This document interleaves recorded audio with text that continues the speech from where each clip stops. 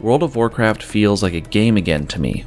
It was just four months ago that I released a video lamenting that WoW and other video games feel less like games to me and more like jobs, and that the high octane pacing and community of these games and storylines was wearing on me. Well, The War Within feels different to me, and it seems a lot of things that I was unhappy about have changed. Sure, I'm writing and reflecting on this only after experiencing the early access, but so far I'm very, very pleased. While the main story does have its high octane moments, the characters we're traveling with are ones that we have some history with, so it doesn't feel weirdly melodramatic like it might otherwise.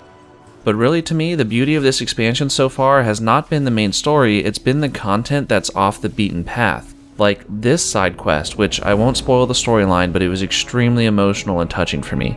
If you know, you know. Or this other side quest here in Hallowfall where you trade love letters back and forth between two people that are far away from each other. To me, this brings back memories of the farmsteads in Elwynn Forest. One of the things I really harped on in the last video of mine was being in a world that felt lived in, and not just some abandoned old continent that was found again after 10,000 years. And furthermore, I wanted to feel part of that world again, like my character actually lived in it, not the champion of Azeroth or the ultimate savior that ever existed of all time. And in my experience with The War Within, my character keeps getting called outsider or friend most of the time instead of champion or hero or savior of Azeroth or Maw Walker. You aren't special, you're just a dude. And that feels good. Some of the side quests are mundane, like picking up eggs for some guy just to help him out, or helping this other lady find her lost homework.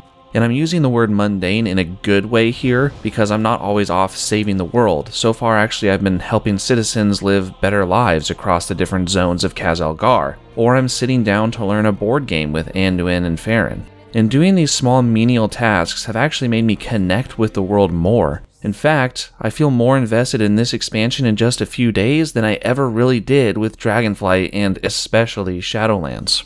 Another thing I've been really enjoying are the small touches here and there that have made each zone feel really alive and really unique and immersive.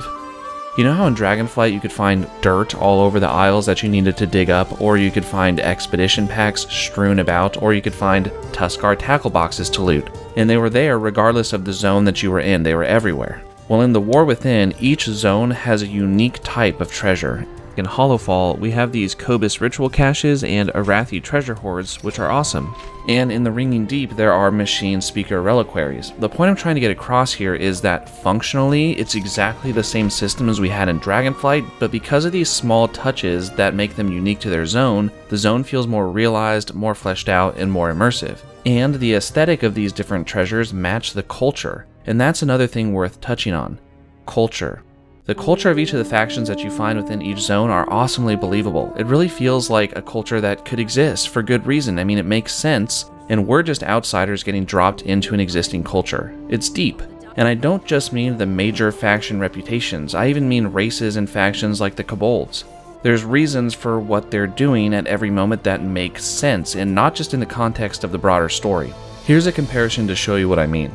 In Dragonflight, the Sundered Flame led by Sarkareth had believable reasons and goals, sure, but everything we saw of them was only ever if it related to the main story arc that was already going on. The fact that in the War Within, the Kobolds like candles, they need to steal resources to survive, and they're afraid of the dark, are completely separate from what Xal'atath is doing, and they would still be doing and feeling those same things even if she never existed. In short, the main story fits into a world that was already made instead of a world needing to be made to fit the story. I think now is the right time to address the elephant in the room. There's a change bigger than anything that I've mentioned so far, and it has nothing to do with Blizzard. It's me, and it's the way I've been playing the game and the expansion. The biggest piece of feedback I received in that last video is that the World of Warcraft that I've always wanted and that I was lamenting about has always been there. It was just up to me to see it and to make it a reality. The thoughtful side quests and the small moments of world building, or the great storytelling, or the companions and NPCs that make you feel equal to them and part of the world, and a community of like minded players. It's all there, and it always has been. As a player, I was giving into the mainstream, the meta, the critical path, in essence, I was in it for the quick hit, and the quick hits and the dopamine spikes just weren't doing it for me anymore. And sure, it's harder now to play in this relaxed and fun way, and it's harder to find others like you, but it exists, and for me, the effort has been well worth it. These last four months, I've really slowed down, smelled the Peacebloom, and started playing World of Warcraft as a game again. And I hope in the War Within and beyond, you can too. Thanks for watching, and take care.